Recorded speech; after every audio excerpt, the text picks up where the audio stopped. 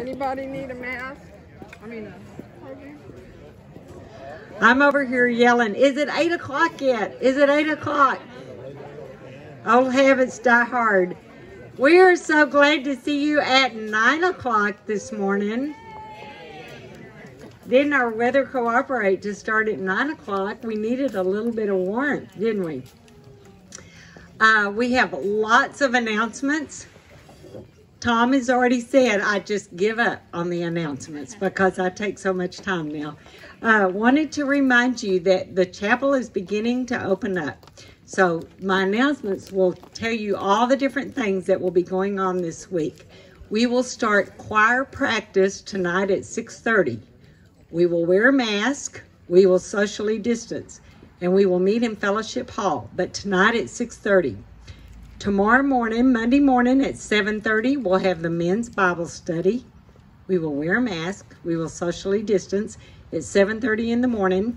Women's Bible study, and it's the same Bible study. You can come on Wednesday morning or Friday morning at 10 o'clock.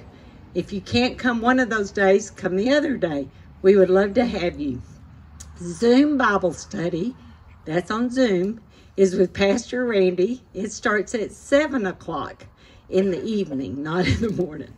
Um, if you want to do that one, we have, uh, you can get your to-go dinners for $7.50 at the drive-through chapel kitchen between 5.45 and 6.15 and then you can go home and eat before you get on Zoom to watch Pastor Randy if you need a deliverer, if you want your meal delivered, we've got people. So we can get that meal delivered. Mary Parrish will need to know so that when we buy groceries and as she's preparing, she will know that you um, want one and we'll have plenty of food. So if you have questions or if you need more information, call the office. We're there every morning and we can give you that information. I'm calling this Mary's Meals to Go. So if you, on an email, or if you hear me talking about Mary's Meals to Go, that's on a Wednesday night from 545 to 615. Next Sunday is our last Sunday for Chapel on the Lawn. And I have a cheerleader. Where's my cheerleader? My cheerleader, Miss Cheryl, is also the chairman of our trustees. We have lots of dignity in our chairman of the trustees, and she's going not next week, but the first week in October, which will be October 4th, we're going to go back into the chapel.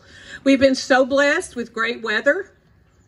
We haven't had a problem this whole time we've been outside, so we just have one more Sunday to pray that we have good weather.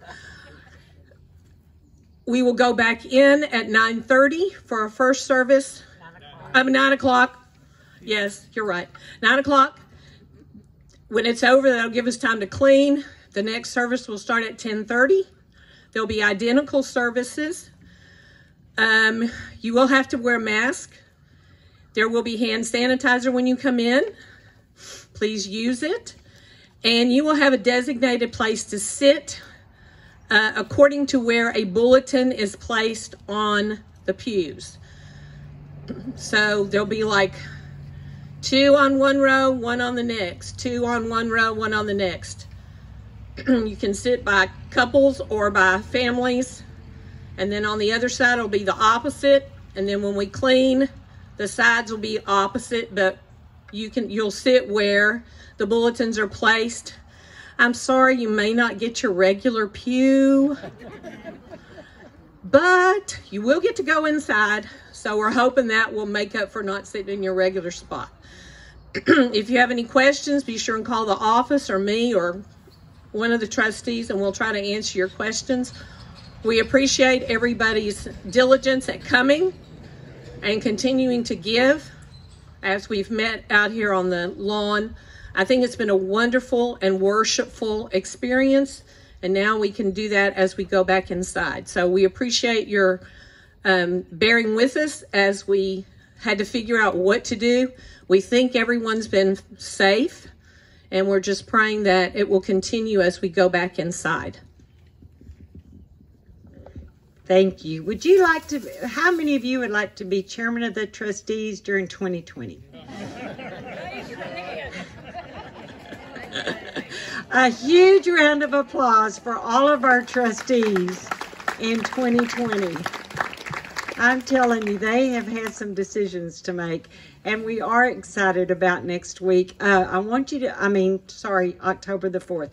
I want you to be kind of thinking if you're going to be able to come at 9 o'clock or if you're going to come at 10.30 because we can hold 70 at a time and we've got a little bit of overflow but we're gonna we're gonna make it work and we want you to feel safe when you walk in there so we're gonna abide by what the trustees uh, have asked us to do i have a little bit of sad news sharon parker passed away yesterday and so uh, in your prayers this week let's keep that family in your prayers um, tom tom told us that the daughters will be coming in today and they'll figure out some funeral arrangements and we will certainly let you know that as soon as we know.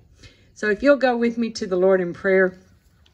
Heavenly Father, we gather today to praise you, to worship you, and to glorify your name. Be with us as we put our cares and our concerns away and we just focus on you and focus on our worship. Father, we ask that you increase our knowledge and our faith this morning. We are so dependent on you for everything. God, we love you and we pray this in Christ's name. Amen.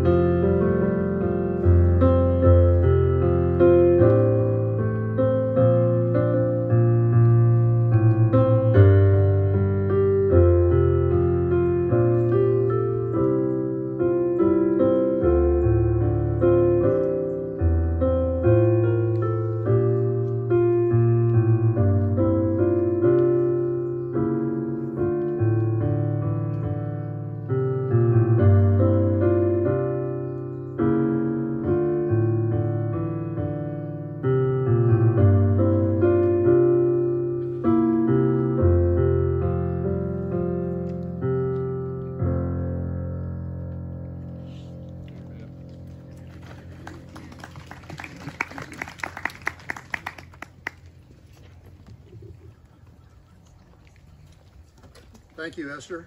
Uh, you may have noticed that Paula is not here this week and next week. She's taking some well-deserved time off. And then when we get in the sanctuary, I am so excited to have both of them play their regular instruments at the same time in a worship service. So um, I probably won't even be able to stand it. You'll see all that excitement on my face next week.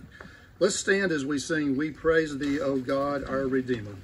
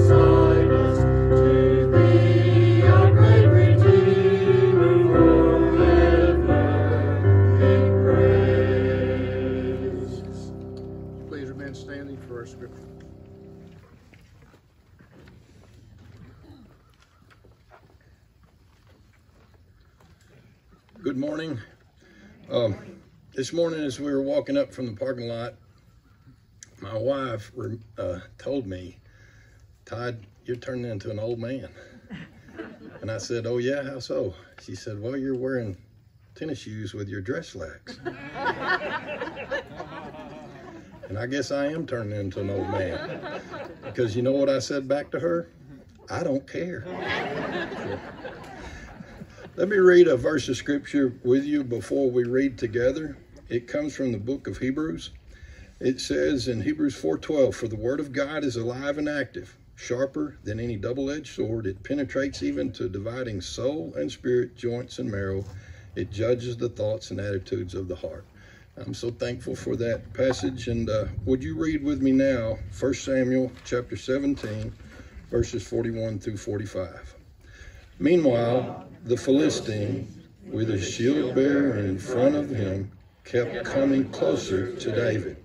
He looked David over and saw that he was little more than a boy, glowing with health and handsome, and he despised him.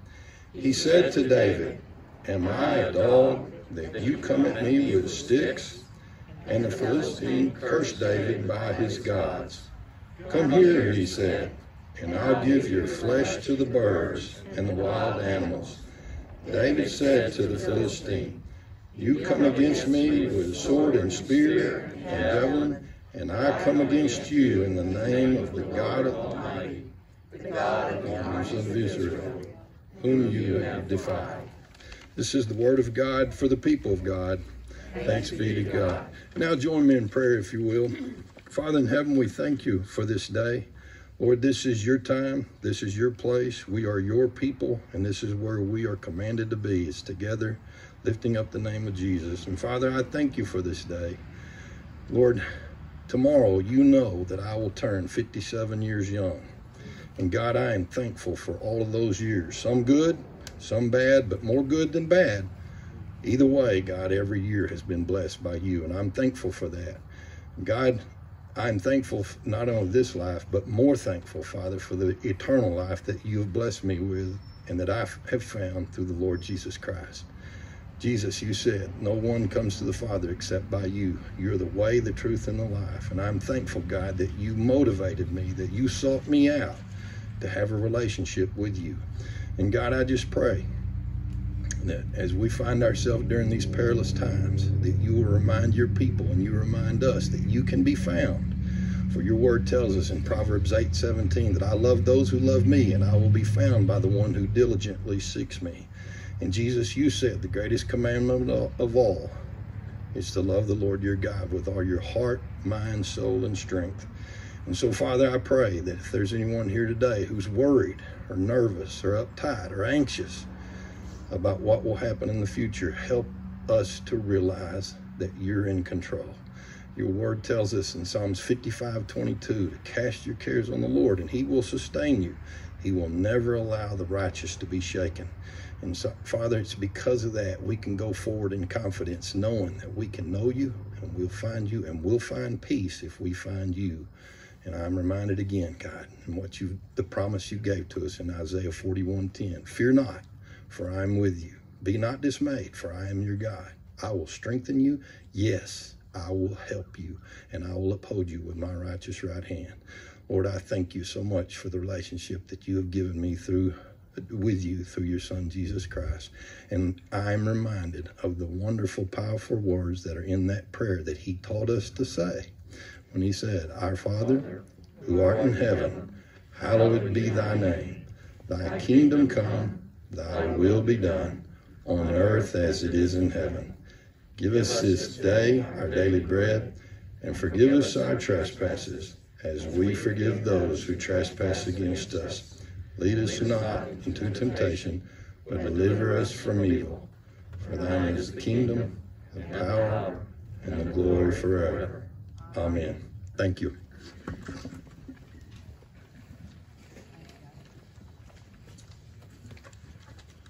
Our hymn is The Lord is My Salvation.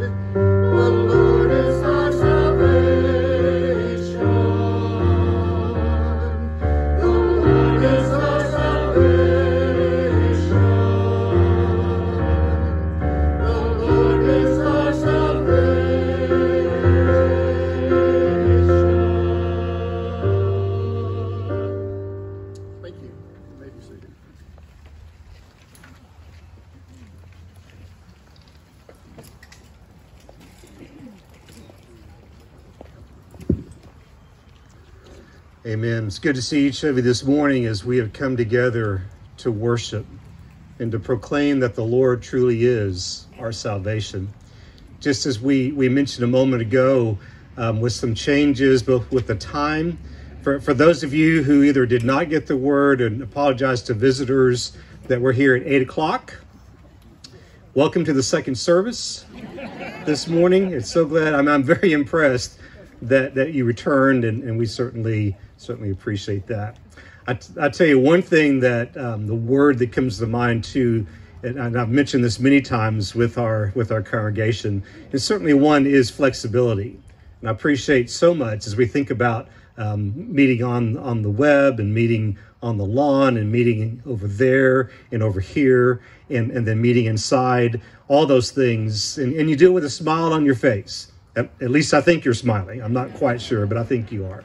But it's good to see as we have come together to worship. H- have you ever come face to face with a giant? Giants are those things that we've heard about over the years. If you're in school, maybe Roman or, or Greek mythology, if you're familiar with uh, the Old Testament, we see in Genesis and in Exodus, it speaks of the Nephilim, the, the giants. Um, maybe everyday giants that you can see, like the Jolly Green Giant, that's not so scary. Um, maybe the giant and Jack and the Beanstalk. If you're afraid of giants, and maybe because of that, because there is a phobia called um, fee fi phobia. Okay, I had to throw that out there. I, I, read that under dad jokes, so if you're a dad, you can share that. Uh, fee fi phobia, uh, fear of giants.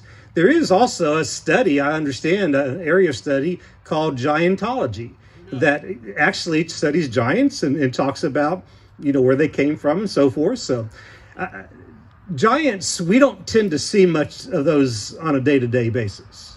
We, we don't look around and, and, and, and see giants. However, we do know that there are giants in our midst. We do know that there are things in our lives which are, are overwhelming to us. And just as fearful as it would be as if there was a, a giant that we see face to face, it's those giants that seem to overwhelm us it's those giants that seem to to take us in, into areas that we, we wonder how am I going to make the next step here. Sometimes they're they're external giants. It could be a, a loss of a job or a loss of a relationship, um, a loss of a position, uh, a loss of power, perhaps. Those external giants that we face, and how am I going to handle this? It could be some more more internal. It could be a, a struggle. It could be a disappointment.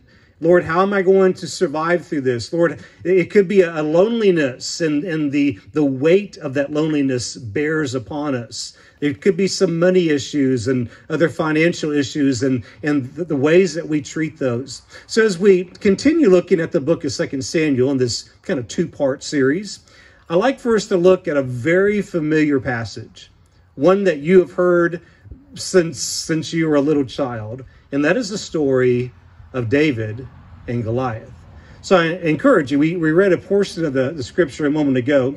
If you have your Bibles, I do invite you to turn to the book of First Samuel, chapter 17. Now we're going to look at different parts of the passage, but I want us to think about those giants that you face and the giants that each of us face, whether it's on a personal level or on a much broader scale as well. So, beginning in verse 1 of chapter 17. Now, the Philistines gathered their forces for war and assembled at Succah in Judah. They pitched camp at Ephes Damon, between Succah and Azekah. Saul and the Israelites assembled and camped in the valley of Elah and drew up their battle lines to meet the Philistines. The Philistines occupied one hill and the Israelites another with the valley in between them.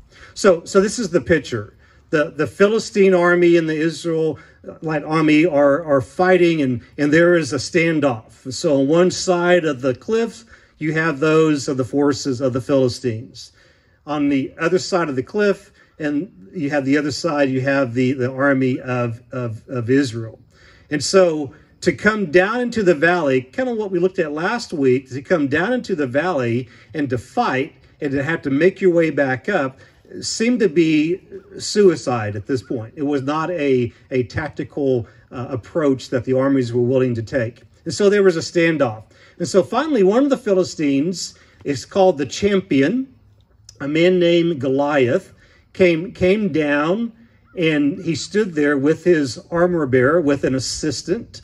And he is standing there and he begins to look up to the armies of Israel and begins to taunt them and begins basically to say, You come down here, one person, and let's fight.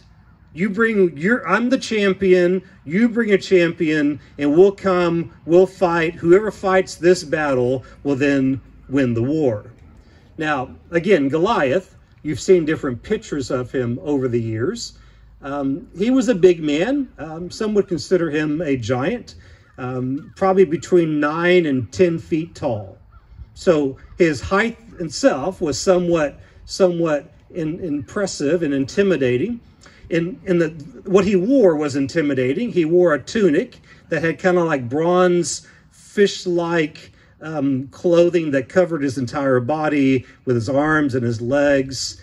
He, he had uh, bronze shin guards and, and bronze uh, boots to cover his feet. He wore a bronze helmet and he had various weapons. And the main weapon was this um, like a fighting weapon of a javelin, of a spear that said it was as, as heavy as a weaver's beam. So a very heavy piece of wood. And so the, the, the champion, Goliath, is, is taunting the people of Israel and the armies of Israel. And you would hope that there would be this great cry of saying, Yes, certainly we can defeat you. However, as we look in the passage in chapter 17, we see these words On hearing the Philistines' words, Saul and all the Israelites were dismayed and they were terrified.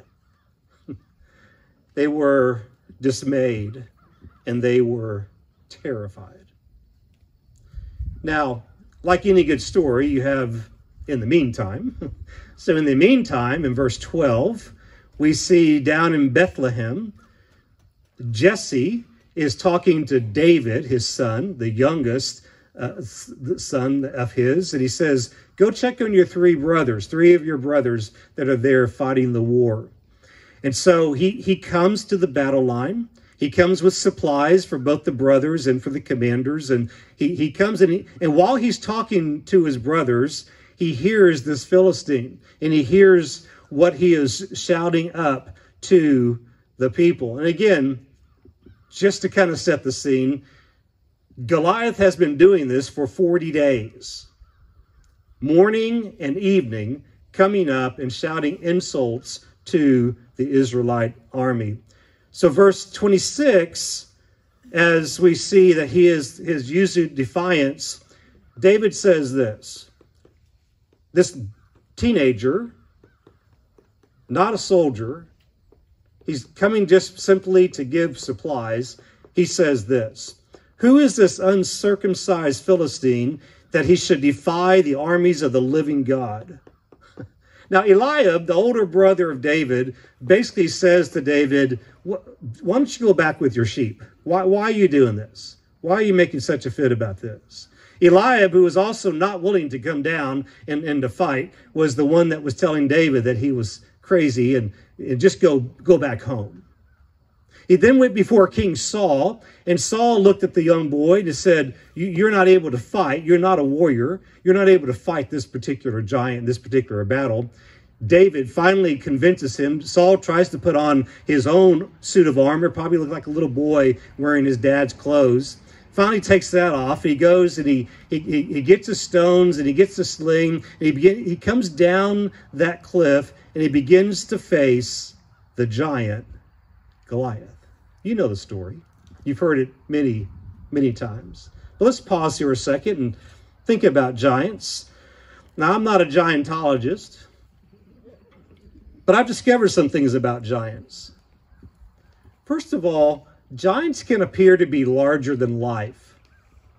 they can be they can become much more scary and much more powerful than they really are. They can appear to be larger than life. They can also appear to be overwhelming. they, they can they can seem to be everywhere. In fact, sometimes giants, even though they're big and mean and ugly, it seems like they're following us. And every time I turn around, I see this giant and this thing that I'm trying to deal with. They can be overwhelming. They can be larger than life. They can certainly immobilize us. We see in the passage that the, the children of Israel, the army of Israel, was they were, they were afraid. They were, they were afraid to move. I, sometimes in stress and trouble and trauma, maybe you've experienced this, that it's such an incredible experience you're not quite sure what to do. And those that have experienced this, you just freeze in place. We are immobile. We are not able to move. And the danger of not moving when there's a, a giant, a situation, a struggle, a pain, a concern among us is when we don't move, then the giant begins to own us. That giant begins to control us that giant that should just simply be at a distance and simply should be an afterthought now becomes the very, very center of my life. It's like taking a coin and, and taking the coin and getting it closer and closer to our eye that it's bigger than life, it's bigger than it should be, it's more important than it should be, and it's overwhelming.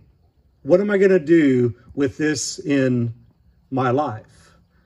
The other thing I've seen about giants is Confronting giants can be unexpected.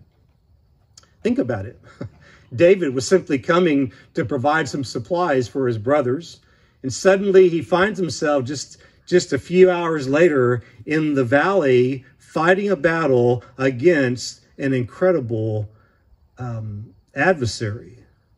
And here was, the, here was a boy in many ways that was over, outmatched. He was overwhelmed. In fact, if you probably talk to the soldiers, both to the left and the right, they would agree this battle will be over fairly quickly.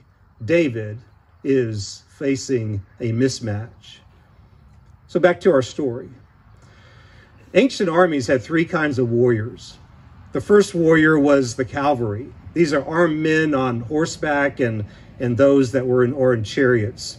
The second was infantry foot soldiers wearing armor and carrying swords and shields. The third were projectile warriors. We would call them artillery. They're the ones that are that have the bows and the arrows, and they would have these these slings, and they would the, the, the, experienced slinger would put rocks or, or, or lead inside that pouch. Now, when you think about the slingshot or the sling, don't think about a little kid's toy.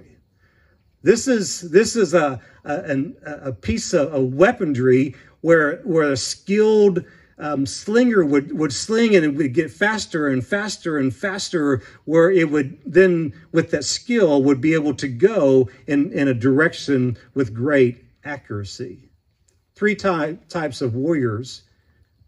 Certainly, Goliath was in artillery, was in infantry. David was in artillery.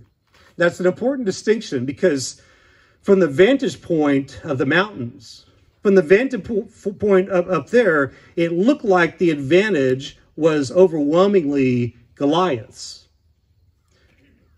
But the reality is, from the vantage point of the valley, the advantage was David. And the reason why is because and, and I'm not saying this because I'm Air Force, but artillery always beats infantry. No amens on that. Okay, I, I just thought I'd get one, maybe. You see, Goliath was looking for a fight, but he was looking for a fight of close combat. He was looking for a fight to be able to, to get with an adversary and, and have a combat that he was looking for. He was not expecting a projectile flying through the air. Now, again, to pause, let's let's just be reminded as we think about how to defeat a giant. And again, let me encourage you to think about a giant that you're facing today. Could be personal, could be professional, could be relational, those things that do seem to be overwhelming. First of all, know that God's power is greater than any perceived giant. With all the ta- taunts that, that the giant was given, David's response was, You come against me with sword and spirit, spear and javelin, but I come against you in the name of the Lord Almighty, the God of all the armies of Israel, whom you have defiled. This day the Lord will hand you over to me, and I will strike you down and cut off your head. Today I will give you the carcasses of the Philistine army to the birds of the air and the beasts of the earth, and the whole world will know that there is a God in Israel. That's some pretty strong words. David is saying, You come thinking that you have the answer, thinking that you have the power, thinking that you have the ability. I come today in the name of the Lord our God. I come today with the presence of the Lord in our midst. I come today knowing that, that through the power of God, through the power of his might, he is able to deliver even through the most unlikely circumstances. My friend, that's the same thing for us. We, we look at those giants of our lives and we say, You think there's power here? I stand before you in the power of God. Come before you in the midst of any temptation, in the midst of any trouble or trial, not knowing what the future is going to bring. But I do know that my God is able to sustain. I know that my God will be here no matter what steps, no matter what direction I take. Know that God's power is greater than any perceived giant. Secondly, as we look in our passage, let me encourage you to face the giant head on. Face the giant, the challenges that you face head on. We see this in verse 48 that the giant moves closer. Now, picture this Goliath, nine, ten feet tall, in all his regality, is, is suddenly gets angry. He sees the boy, and who are you to, to come with me with sticks? Am I a dog? And so he runs towards him he runs towards David, and David, unlike his brothers at the top of the hill, he actually begins to run towards Goliath. If we're going to face the giants and defeat the giants of our lives, we've got to face them head on. To be honest, to look in the mirror of our lives and know that, that again, not my power, not my might, but by the Spirit of God, God gives us the ability to be able to slay the giants of our lives. He gives us the ability to come before those giants and to be able to say face to face, I come before you in the name of Jesus Christ. I come before you. And, and there may be times in your life where uh, you're not quite sure what's going on, and you're not quite sure, maybe there's a feeling in the house, just like we used to think there were monsters under our bed or in the closet but to be able to voice and to be able to say, in the name of Jesus, away. In the power of Jesus, the power of Jesus' name, to be able to fight those battles. The power of God is within us.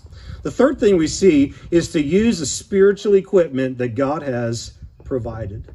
To use the spiritual equipment that God has provided. Goliath is carrying over 100 pounds of armor. And as he as he approaches David, scholars, in, in looking at this passage, have determined that as he got closer, and some scholars think that the reason why there was an attendant was because he had poor eyesight.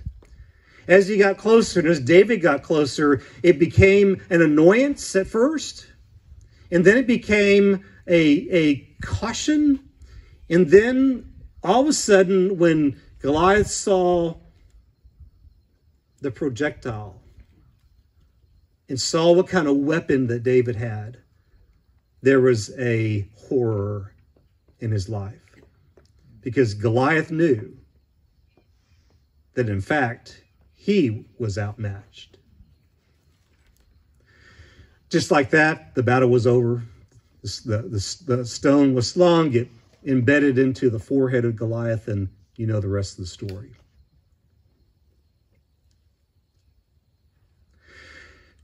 The good news we have today is that we still have that spiritual equipment with us. We still have the presence of God to be able to face the battles, to be able to face those Goliaths of our lives, to be able to face circumstances that we're not quite sure exactly what's going on, but we do know that God will give us the strength that we need. Beginning next Sunday, I'm going to begin a series of messages and speaking of the, the, the fact that, that, that Christ said, Upon this rock I will build my church. We're going to talk about some uh, what it means to be a, a rock solid church. and, and kind of come back to those basics of worship and Bible study and prayer and, and those things that we, we know to be true, but to look at a way and say, Lord, guide me in 2020 and 2021 and beyond. Lord, how can we continue to grow as a church and to build disciples and to reach out to our communities to share the message, the grace, and the mercy of our God so that in spiritual battles, there can be a proper equipment to be able to touch lives, not only for me personally, but through my family and, and through the, the church that I am privileged to be a part of.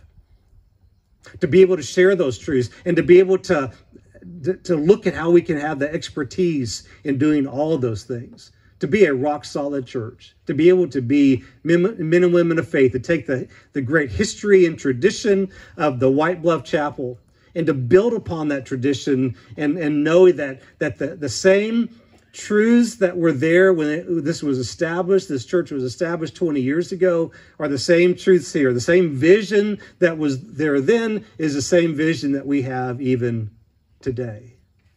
To be able to take the truth of the Word of God and to be able to grow and to lean upon that.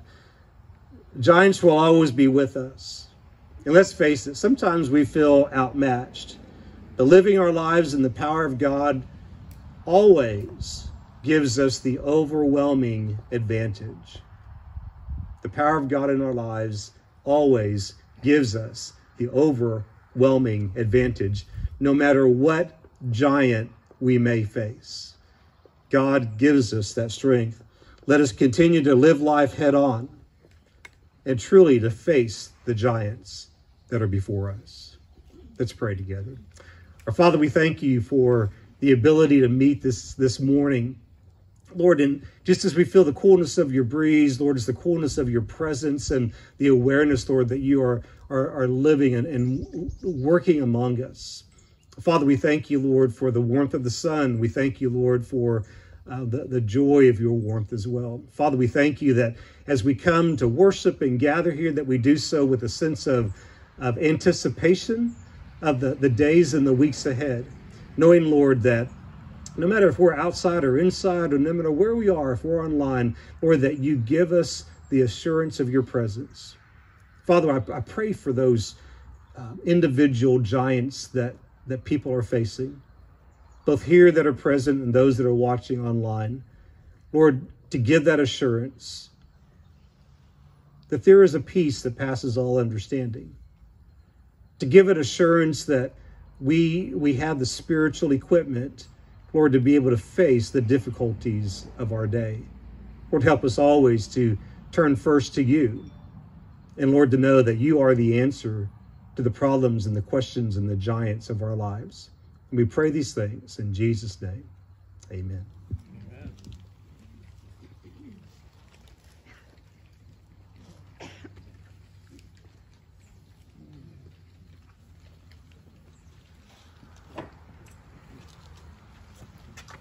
Let's stand as we sing Now Unto Him, which will also serve as our benediction.